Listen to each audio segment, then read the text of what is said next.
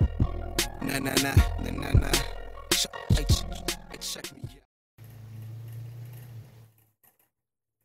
Namaste, Moors.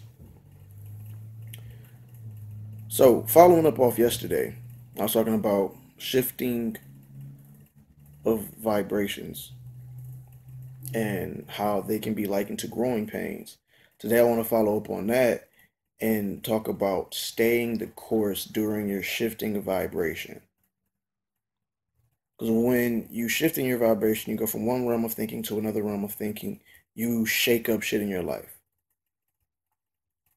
You you'll lose a lot of things that you wanted to have because you're changing like you're changing your thoughts. So you're thought you're losing thoughts that not not necessarily losing thoughts. You're not just operate you're not operating from them same thoughts as before. So the vibration of everything that you were in previously is going to is going to get it's going to get rocky. It's going to get oh holy shit! I don't know what the fuck's going on. Um, but it's just a part of the process. See, a lot of people get into doing something new, doing something different, and it shifts their their vibration and their reality, and they're not ready for it, or they don't stay the course and they fall and like they get back into the reality which they were trying to get out of, the vibration that they were trying to get out of. You know I mean, because they don't stay the course. Like look at life as, you know, a plane, an airplane. It has to get off the ground. It gets in the air. It might come into a turbulent time.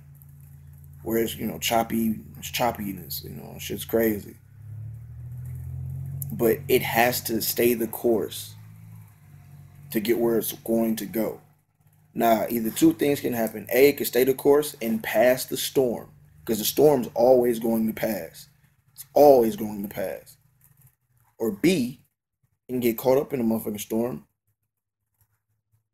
and uh, crash and burn. And a lot of us crash and burn. I've crashed and burned plenty of times. Plenty of times. Nah, I'd rather get up, stay up, and make it through the storm. Stay the course. And that that goes for everything. Everything that you do that's different and new and scary, stay the course. Stay the fucking course. You'll get past the storm. You know what I mean? That's shifting of your vibrations. Now you're gonna grow and your mental and things are going to shake up. You got to get that old shit off you. And you will if you just stay the you know stay the course. Like what's more difficult, getting off the ground or going through turbulent times? Cuz they both will be over. But when you get up, it's like you rather stay up. I mean, getting off the ground takes a little bit more effort than just staying in the shit. Even though it seems like staying your course, even if it's turbulent, that seems like it takes a lot, but it, it all just takes a lot. Would you rather stay up or go down to have to get back up again? I know the story of the Phoenix is very compelling, but you know, just stay up because the phoenix always rises, right? So why not just stay the fuck up? Stay the course, man.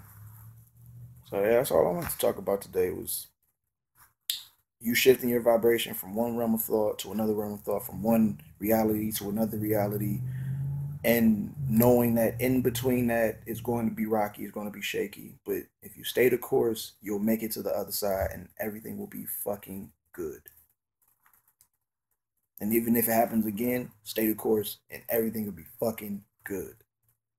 Have faith. I'm going to leave with peace, love, and godliness. And I pray that you all be good, do good, and you live good. Namaste. That's why I say God is good, cause I am that I am. Cause I am that I am. My DNA, my DNA, my DNA.